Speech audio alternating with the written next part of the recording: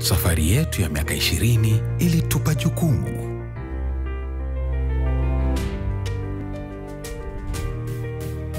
nia yetu ikiwa kuleta mabadiliko ya maisha kwa Wakenya na kuwasaidia Wakenya wanaostahili. Majanga na shida zinapotukabili, twabadilisha maisha hata kupitia mziki na kutoa fursa ya kulea viongozi wa baadaye, kuwafungulia njia za kujistawisha, tukisaidia kutimiza ndoto za wengi.